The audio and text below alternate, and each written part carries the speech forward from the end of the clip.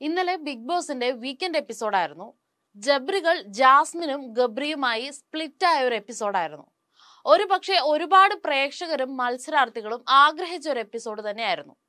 Bigg Boss Malayalam season six ആരംഭിച്ച അന്നു മുതൽ ഒരു പക്ഷേ ഒരാഴ്ചയ്ക്ക് ശേഷം മുതൽ തന്നെ ജാസ്മിന്റെയും ഗബ്രിയുടെയും റിലേഷൻഷിപ്പ് പുറത്തേക്ക് പ്രൊജക്റ്റഡ് ആയി വന്നതിന് ശേഷം ഒരുപാട് പേരും ഒരുപാട് പ്രേക്ഷകരുടെ ആ ഒരു റെസ്പോൺസ് തന്നെ എന്തായിരുന്നു വെച്ചാൽ ജാസ്മിനും ഗബ്രിയും സ്പ്ലിറ്റ് ആവണം. അവർ ഒരുമിച്ച് നിന്ന് കളിച്ചുകൂടാ. അല്ലെങ്കിൽ അവർ രണ്ട് ഇതായാലേ കാര്യമുള്ളൂ. അവരിൽ ഒരാളെ എവിക്റ്റ് ആയി പോകണം. അല്ലാതെ അവിടെ നിൽക്കുന്നതിൽ ഒരർത്ഥമില്ല എന്നുള്ള തരത്തിലുള്ള ഫീഡ്ബാക്കുകളായിരുന്നു വന്നുകൊണ്ടിരുന്നത്. മേ ബി ഒന്ന് ചീഞ്ഞ് മറ്റൊന്നിനെ വളമാവാനുള്ള സാധ്യതകൾ ഇനിയും തള്ളിക്കളയാനാവില്ല. കാരണം ഒരാൾ അവിടെ നിന്ന് മാറിക്കഴിയുമ്പോൾ മറ്റൊരാൾ സ്ട്രോങ് ആകുമോ ഇല്ലയോ എന്നുള്ളതല്ല അവിടെ ഒരു ഗെയിം സ്പേസ് കിട്ടും എന്നുള്ളതാണ് പ്രേക്ഷകർ പറയുന്നത്. ഗെയിമിന്റെ ഒരു പെർസ്പെക്റ്റീവിൽ നോക്കുമ്പോൾ ചേർന്ന് നിന്ന രണ്ട് തേക്കുകൾ വെട്ടിക്കത്തിച്ച് മറ്റുള്ള വാഴകൾക്ക് ഒരു വളമായിട്ട് ഇട്ട് കൊടുത്ത പോലത്തെ ഒരു ഫീൽ തോന്നുന്നുണ്ട്. കാരണം ജാസ്മിൻ ചോദിച്ച ഒരു ചോദ്യം ഉണ്ടായിരുന്നു ഗബ്രി ഔട്ട് ആയ സമയത്ത്. മറ്റുള്ള കണ്ടസ്റ്റന്റുകൾ അല്ലെങ്കിൽ ഇപ്പൊ ഇവിടെ നിൽക്കുന്ന കണ്ടസ്റ്റന്റുകളെ പലരെയും വെച്ച് കമ്പയർ ചെയ്യുമ്പോൾ ഗബ്രി ബെറ്റർ ആയിരുന്നില്ലേ എന്ന് ചോദിക്കുന്നുണ്ടായിരുന്നു. ഒരു കണക്കിന് അത് കറക്റ്റ് തന്നെയായിരുന്നു. ഗബ്രിയുടെ ഗെയിം പ്ലാനും കാര്യങ്ങളും ഒരു സ്മാർട്ട് പ്ലേയും വെച്ച് നോക്കുമ്പോൾ അതിനപ്പുറം ഒരു സേഫ് സോണിൽ ഒരു ഷെല്ലിൽ നിന്ന് പുറത്തിറങ്ങാതെ ഇനിയും ആ വീട്ടിൽ നിൽക്കുന്ന ആളുകളുണ്ട്. അവരെയൊക്കെ സേഫ് ആക്കി അവിടെ വെച്ച് കൊണ്ടിട്ട് ഗബ്രിയെ പുറത്താക്കിയത് ഒരു ഫെയർ ആയിട്ട് ഫീൽ ചെയ്തിട്ടുണ്ടായിരുന്നില്ല. ഗബ്രിയെ പുറത്തു വിടാനായിട്ട് പ്രേക്ഷകർ കണ്ടുപിടിച്ച ഒറ്റ റീസൺ എന്ന് പറയുന്നത് ജാസ്മിനും ഗബ്രിയും തമ്മിലുള്ള റിലേഷൻഷിപ്പ് മാത്രമാണ്. അതിനപ്പുറം ഗബ്രിക്ക് അവിടെ ഒരു ഗെയിം കളിക്കാതിരിക്കുക എന്നുള്ളതോ അല്ലെങ്കിൽ കാര്യങ്ങൾ നിലപാടുകൾ തുറന്നു പറയാതിരിക്കുക എന്നുള്ള തരത്തിലുള്ള പോയിന്റുകൾ ഗബ്രിയെ ചൂണ്ടി പറയാനില്ല സിജോയുടെ ഗെയിം ഒരു ചെറിയ തീപ്പൊരി പോലെ ഫീൽ ചെയ്തൊരു എപ്പിസോഡായിരുന്നു ഇന്നലെ. അവിടെയുള്ള ഗെയിമേഴ്സിനെ സംബന്ധിച്ച് നല്ല ഗെയിമേഴ്സ് അവിടെ നിൽക്കട്ടെ എന്നോ അല്ലെങ്കിൽ മോശം ഗെയിമേഴ്സ് പുറത്തു പോകട്ടെ എന്നോ അങ്ങനെയുള്ള ഒരു ചിന്താഗതികളൊന്നും അവർക്കില്ല. അവർക്ക് ഓപ്പോസിറ്റ് ആയിട്ട് ഫീൽ ചെയ്യുന്ന അല്ലെങ്കിൽ ഒരു മത്സരമായിട്ട് വരും ലാസ്റ്റത്തെ ഒരു ടൈം ഒക്കെ ആകുമ്പോഴത്തേക്കും അവർക്കൊരു എതിരാളിയായിട്ട് ഫീൽ ചെയ്യും എന്നുള്ളവരെ ആദ്യമേ തന്നെ വെട്ടിക്കളയുക എന്ന് പറയുന്നത് അത് അവരുടെ ഒരു ഗെയിം പ്ലാൻ തന്നെയായിരിക്കാം.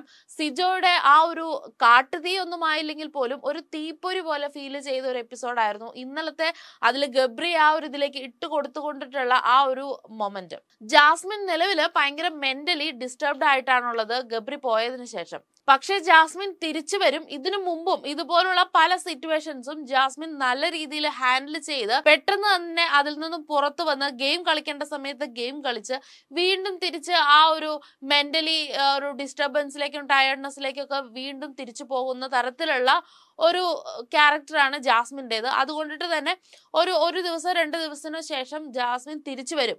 പക്ഷെ തിരിച്ചു വരുമ്പം ജാസ്മിൻ നേരിടാൻ പോകുന്ന ഏറ്റവും വലിയ പ്രശ്നം എന്താണെന്ന് വെച്ചാൽ ആ വീട്ടിലുള്ളവർ തന്നെ അതൊരു വിഷയമാക്കി എടുക്കും. ഗബ്രി അത്രത്തോളം ജാസ്മിൻ സ്നേഹിക്കുന്നു എങ്കിൽ എങ്ങനെ ഒരു ദിവസം കൊണ്ടിട്ട് ജാസ്മിന് തിരിച്ചു വരാൻ പറ്റി? എങ്ങനെ ജാസ്മിൻ ഓക്കെ ആയിട്ട് നിൽക്കുന്നു എന്നുള്ളതായിരിക്കും മറ്റൊരു ചോദ്യം. അതല്ലാതെ അതിൽ തന്നെ വീക്കായിട്ട് നിൽക്കുകയാണ് ജാസ്മിൻ. ഗബ്രിയുടെ കാര്യങ്ങൾ ഓർത്ത് ഗെയിം കളിക്കാതെ നിൽക്കുകയാണെങ്കിൽ അവിടെയും ഒരു ചോദ്യം വരും. എന്തുകൊണ്ട് ജാസ്മിൻ ഇങ്ങനെ നിൽക്കുന്നു? ജാസ്മിൻ ഇത് ഗെയിം ആണെന്ന് അറിയില്ലേ?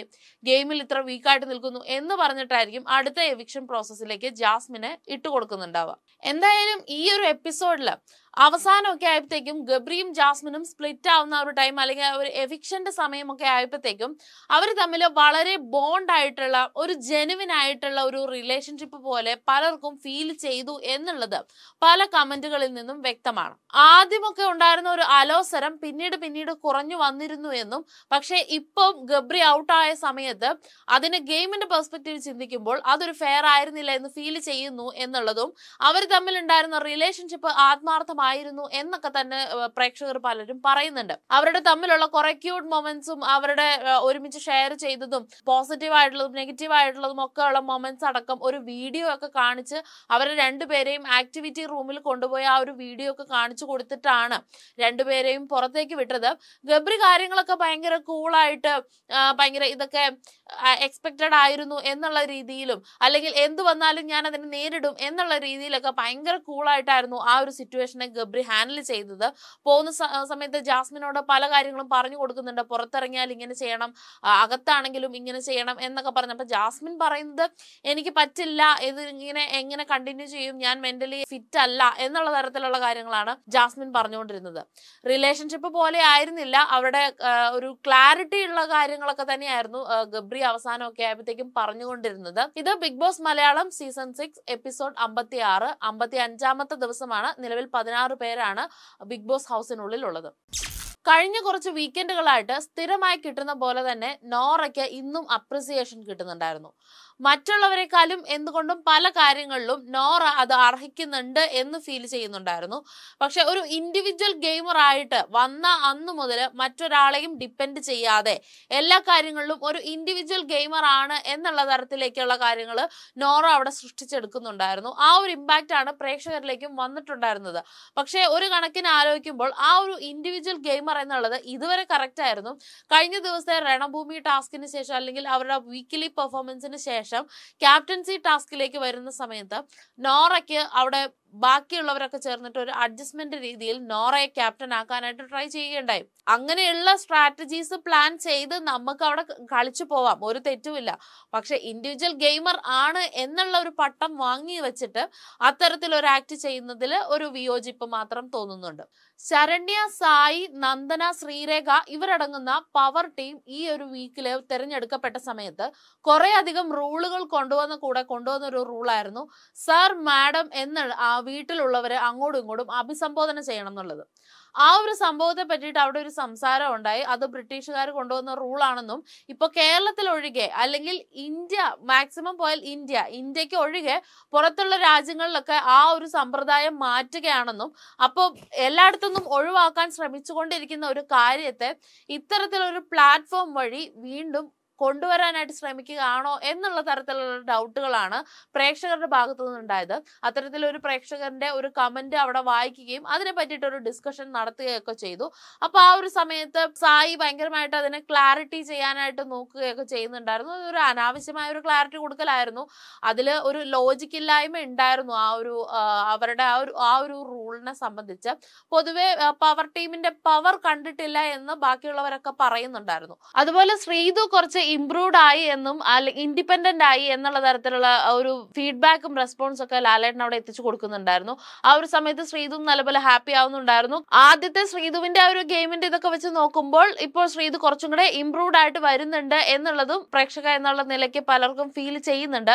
അതുപോലെ ജാസ്മിനും ശ്രീതുവും അൻസിബ ജിൻഡോ തമ്മിലുള്ള അവരുടെ ആ ഒരു ടീമിനെ പറ്റിയിട്ട് ലാലേട്ടൻ ചോദിക്കുകയുണ്ടായി വലിയ കുഴപ്പമില്ലാത്ത ഫീഡ്ബാക്കുകളൊക്കെ വീടിന്റെ ഉള്ളിൽ നിന്ന് കിട്ടുന്നുണ്ടായിരുന്നു.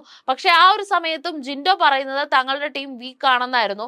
നല്ലൊരു കിച്ചൺ ടീമായിരുന്നു ഫുഡൊക്കെ നല്ലതായിരുന്നു എന്ന് ബാക്കിയുള്ളവർ പറയുമ്പോഴും തങ്ങളുടെ ടീം വീക്ക് ആണെന്ന് ജിൻഡോ പറയുന്നതിന്റെ കാരണം ഒരു തരം ഈഗോ പ്രോബ്ലം തന്നെയാണെന്ന് മനസ്സിലാക്കാൻ പറ്റും. ആദ്യം മുതലേ ജിൻഡോയ്ക്ക് അത് ആ ഒരു ഈഗോ പ്രോബ്ലം ഉള്ളതാണ്. തന്നെക്കാളും നല്ലതാണ് മറ്റൊരാൾ എന്നുള്ളത് ജനുവിനായിട്ട് അംഗീകരിക്കാനുള്ള ഒരു മടി ജിൻഡോയ്ക്ക് നല്ല രീതിയിലുണ്ട്. ശ്രീതുവും ജാസ്മിനും ജിൻഡോയൊക്കെ പൊക്കി പറയുന്നില്ലാത്തത് കൊണ്ടായിരിക്കാം. അത്തരത്തിൽ അവരെ രണ്ടുപേരും ആ ഒരു ടീം എന്ന് പറയുമ്പോൾ അവർ രണ്ടുപേരും കൂടെ പെടുന്നുണ്ടല്ലോ. അപ്പൊ ടീം നല്ലതായിരുന്നു പറയുമ്പോൾ അവരും നല്ലതായിരുന്നു എന്ന് പറയേണ്ടി വരുന്നുണ്ട്. എന്നുള്ളത് കൊണ്ടിട്ട് ടീം വീക്ക് ആണെന്ന് പറഞ്ഞ് അവരെ അങ്ങ് അടിച്ചു താത്താനായിട്ട് ശ്രമിക്കുകയായിരുന്നു ജിൻഡോ. ജിൻഡോ ആദ്യം മുതലേ ശ്രദ്ധിച്ചിട്ടുണ്ടെങ്കിൽ ജിൻഡോ നല്ലൊരു ഇൻഡിവിജ്വൽ പ്ലെയർ ആണ്. ഇൻഡിവിജ്വലി നന്നായിട്ട് ഗെയിം കളിക്കും. പക്ഷേ ഒരു ടീം പ്ലെയർ എന്നുള്ള രീതിയിൽ ജിൻഡോ ഒരിക്കലും ഒരു നല്ല ടീം പ്ലെയർ അല്ല. കാരണം ജിൻഡോ ഒരു ടീമായിട്ട് നിന്നുകൊണ്ട് എടുക്കുന്ന പല തീരുമാനങ്ങളിലും അല്ലെങ്കിൽ പല സ്ട്രാറ്റജീസുകളിലും ജിൻഡോ ജിൻഡോയുടേതായ ഒരു പ്ലാൻ കുത്തിക്കയറ്റാനായിട്ട് ശ്രമിക്കുകയും ലാസ്റ്റ് പൊളിയുന്ന പല സീനുകളൊക്കെ നമ്മൾ കണ്ടിട്ടുണ്ട്. അതുകൊണ്ട് തന്നെ ഒരു ടീം പ്ലെയർ എന്നുള്ള രീതിയിൽ ജിൻഡോ അത്ര മെച്ചമല്ല എന്ന് തന്നെ പറയേണ്ടിയിരിക്കുന്നു. പിന്നെ പൊളിറ്റിക്കലി ഇൻകറക്റ്റ് ആയിട്ടുള്ള ആ ഒരു നട്ടൽ വിവാദത്തെ പറ്റിയിട്ട് നന്ദന അവിടെ ലാലേട്ടനോട് സൂചിപ്പിക്കുകയുണ്ടായി.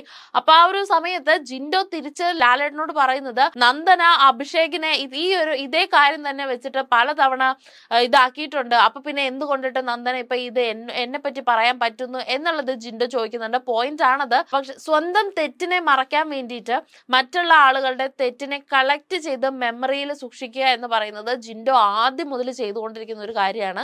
പല കാര്യങ്ങളും ജിൻഡോയോട് ചോദിക്കുമ്പോൾ ജിൻഡോയുടെ എന്തെങ്കിലും തെറ്റ് ലാലേട്ടൻ ചോദിക്കുന്ന സമയത്ത് ജിൻഡോ പറയുന്നത് എനിക്ക് ഓർമ്മയില്ല ഞാനത് എനിക്ക് ഓർക്കുന്നില്ല എന്നുള്ള തരത്തിലുള്ള ആക്ടുകൾ ജിൻഡോ ചെയ്യുമ്പോഴും ഇത്തരത്തിലുള്ള കാര്യങ്ങളൊക്കെ ജിൻഡോ സൂക്ഷിച്ച് മെമ്മറിയിൽ വെക്കാറുണ്ട്. എടുത്തടിക്കേണ്ടടുത്ത് അത് ചെയ്യാറുമുണ്ട് ജിൻഡോ. അതുപോലെ നോറയ്ക്ക് ബെസ്റ്റ് സോൾജിയർ അവാർഡ് കൊടുക്കുകയായിരുന്നു. അപ്പൊ ആ ഒരു രണഭൂമി ടാസ്കുമായിട്ട് ബന്ധപ്പെട്ടിട്ടുള്ള കാര്യങ്ങളൊക്കെ ചർച്ച ചെയ്യുന്ന സമയത്ത് വാക്പോര് നടത്തിയതിൽ നോറ കണ്ടിന്യൂസ് ആയിട്ട് വാക്പോര് നടത്തുകയുണ്ടായി എന്നൊക്കെ പറഞ്ഞിട്ട് അപ്പം ഋഷിയുടെ ആ ഒരു ബോംബെയറിനെ പറ്റിയിട്ടൊക്കെ നല്ല രീതിയിലുള്ള ഫീഡ്ബാക്കുകൾ വന്നിട്ടുണ്ടായിരുന്നു. നല്ല രീതിയിൽ സംസാരിക്കുകയുണ്ടായി. എല്ലാവരും തന്നെ നന്നായിട്ട് കളിച്ചു എന്ന് ഡിസ്കസ് ചെയ്യുമ്പോഴും നോറയുടെ വാക്പോര് നല്ലതായിരുന്നു. വെർബൽ ഫൈറ്റിൽ നോറ അടിപൊളിയായിരുന്നു എന്ന് പറഞ്ഞിട്ട് ബെസ്റ്റ് സോൾജിയർ എന്നുള്ള രീതിയിൽ നോറയ്ക്ക് ആ ഒരു അവാർഡ് കൊടുക്കുകയുണ്ടായി. അതും ഈ വീക്കിലെ നോറയ്ക്ക് കിട്ടുന്ന ഒരു അപ്രിസിയേഷൻ ആയിരുന്നു. നോറയ്ക്ക് ഇത്തരത്തിൽ കഴിഞ്ഞ രണ്ടു രണ്ട് മൂന്ന് വീക്കുകളായിട്ട് കണ്ടിന്യൂസ് ആയിട്ട് ഇത്തരത്തിലുള്ള ഒരു അപ്രിസിയേഷൻസ് കിട്ടുന്നത് ആ വീട്ടിലുള്ളവർ ശ്രദ്ധിക്കുന്നുണ്ടോ എന്നറിയില്ല. ബട്ട് ഒരു ഇൻഡിവിജ്വൽ പ്ലെയർ എന്നുള്ള രീതിയിൽ നോറയെ ബൂസ്റ്റ് ചെയ്യാനായിട്ട് ലാലേട്ടനും ഇതിന്റെ അണിയറ പ്രവർത്തകരും ശ്രമിക്കുന്ന പോലെ പലപ്പോഴും ഫീൽ ചെയ്യുന്നുണ്ട് ഈ ഒരു ആക്ടിനെ പിന്നീട് ഉണ്ടായിരുന്ന ഒരു എവിക്ഷൻ പ്രോസസ്സ് തന്നെയായിരുന്നു നമ്മൾ തുടക്കത്തിൽ പറഞ്ഞ പോലെ തന്നെ ജാസ്മിന്റെയും ഗബ്രിയുടെയും ആ ഒരു സ്പ്ലിറ്റ്നെസ് ഭയങ്കര വൈകാരികമായ പല മുഹൂർത്തങ്ങളൊക്കെ ആയിരുന്നു കണ്ടിട്ടുണ്ടായിരുന്നത്. ഋഷിയും അൻസിബയും ഒരു ഫ്രണ്ട്ഷിപ്പ് കോംബോ കീപ്പ് ചെയ്യുന്നവരും ഇവരും ഒരു കോംബോ കീപ്പ് ചെയ്യുന്ന ആളുകളായതുകൊണ്ടിട്ട് തന്നെ അവർക്ക് ഫേവറേറ്റ് ആയിട്ടുള്ള ഒരു പ്ലേസിൽ അവസാനമായിട്ട് പോയിരുന്ന് സംസാരിക്കാനുള്ള കാര്യങ്ങൾ സംസാരിക്കും എന്ന് പറയുന്ന സമയത്ത് വളരെ പക്വതയോടെ പാകതയോടെ തന്നെ ഗബ്രി കുറെ കാര്യങ്ങൾ ജാസ്മിനോട് പറഞ്ഞു കൊടുക്കുകയും ജാസ്മിൻ അപ്പൊ അവിടെ തന്റെ കുറച്ച് വിഷമങ്ങളെ പറ്റി സംസാരിക്കുകയൊക്കെ ചെയ്യുന്നു. അതുപോലെ ഋഷിയാണെങ്കിലും അൻസിബയാണെങ്കിലും അവരുടേതായ ആ ഒരു നമ്മൾ വന്ന സമയം മുതൽ അൻസിബയ്ക്ക് കിട്ടിയിരിക്കുന്ന ഒരു പേരാണ് കട്ടൽ റാണി എന്ന് പറയുന്നത് ആ സ്പേസിൽ തന്നെ പോയിരുന്ന അവർ കുറെ കാര്യങ്ങൾ സംസാരിക്കുകയും അങ്ങോട്ടും ഇങ്ങോട്ടും ഡിസ്കസ് ചെയ്യുകയൊക്കെ ചെയ്യുന്നുണ്ടായിരുന്നു. അതിനുശേഷം പിന്നീട് അൻസിബയും ഋഷിയും സേഫായി എന്ന് പറയുകയും ഇവരെ ജാസ്മിനെയും ഗബ്രീരെയും ആക്ടിവിറ്റി ഏരിയയിലേക്ക് കൊണ്ടുപോവുകയും അവിടെ കൊണ്ടുവന്നൊരു വീഡിയോ കാണിക്കുകയൊക്കെ ചെയ്ത്. വളരെ വൈകാരികമായ ഒരു മുഹൂർത്തങ്ങളിലൂടെ കടന്നുപോയി തന്നെ അവരെ പുറത്താക്കുകയൊക്കെ ചെയ്യുന്നുണ്ടായിരുന്നു. പക്ഷേ ഇതിന് ശേഷം പ്രേക്ഷകരുടെ വിധി പ്രകാരമാണ് അല്ലെങ്കിൽ പ്രേക്ഷകർ കഴിഞ്ഞ രണ്ടാഴ്ചയായിട്ട് ഗബ്രിയെ പുറത്താക്കണം പുറത്താക്കണം എന്നുള്ള രീതിയിൽ വോട്ട് സ്പ്ലിറ്റ് ചെയ്തതിന്റെ ഭാഗമായിട്ടാണ് ഗബ്രി പുറത്താക്കപ്പെട്ടത്. എന്ന് പറയുമ്പോൾ പോലും ഒരുപാട് കമന്റുകളിൽ വരുന്നത് ഗബ്രി ഇപ്പോൾ പുറത്താവണ്ടായിരുന്നു എന്നുള്ളതാണ്. ആ ഒരു എവിക്ഷന് ശേഷം പറയുന്നത് പുറത്താവണ്ടായിരുന്നു നല്ലൊരു ഗെയിമർ ആയിരുന്നു. ഗബ്രിയേക്കാളും മോശമായിട്ട് ഗെയിം കളിക്കുന്ന ഒരുപാട് ആളുകൾ ആ വീട്ടിൽ ഉണ്ടായിരുന്നു എന്നുള്ള തരത്തിലുള്ള കമന്റ്സുകളൊക്കെ തന്നെയാണ് പറയുന്നത്. പക്ഷെ എന്തായാലും ഇനി ജാസ്മിന്റെ ഗെയിം എന്തായിരിക്കും എന്നുള്ളത് നമുക്ക് കാണാം. ജാസ്മിൻ ഇതുവരെ കളിച്ചുകൊണ്ടിരുന്ന അല്ലെങ്കിൽ ഗബ്രിയുടെ കൂടെ നിന്ന് അവർ തമ്മിൽ കുറെ കാര്യങ്ങൾ പ്ലാൻ ചെയ്ത് കളിച്ചുകൊണ്ടിരുന്ന ഒരു രീതി മാറ്റിയിട്ട് ഇനി ജാസ്മിൻ അവിടെ ഒരു പുതിയ ഗെയിം എന്ത് സ്ട്രാറ്റജി ആയിരിക്കും ഉണ്ടാവുക അത് പുതിയൊരു കോംബോ സൃഷ്ടിക്കുക അല്ലെങ്കിൽ പുതുതായിട്ട് ആരെങ്കിലും കൂടെ കൂട്ടി ഒരു വീണ്ടും ഒരു ടീം പോലെ നിന്ന് കളിക്കുമോ അതോ ഒറ്റയ്ക്ക് നിന്ന് കളിക്കുമോ എങ്ങനെയായിരിക്കും എന്നൊക്കെ ഉള്ളത് ഇനി വരും എപ്പിസോഡുകളിൽ കാണാം.